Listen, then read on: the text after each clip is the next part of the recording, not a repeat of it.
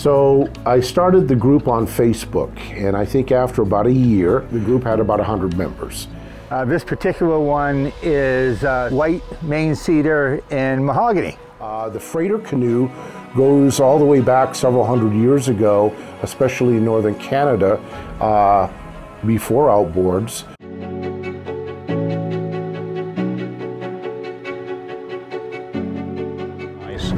And uh, it's just a great place, great place to spend some time and unwind.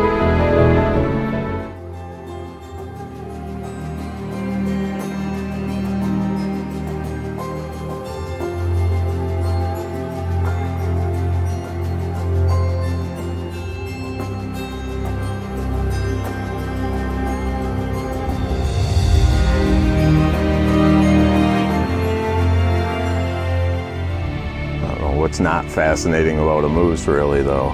You know i mean you just got to take one look at the gumpy looking buggers and you know the long legs the big nose the dangly thing from their neck. What the heck's that all about anyways you know? I mean you don't know what you're missing until you get out here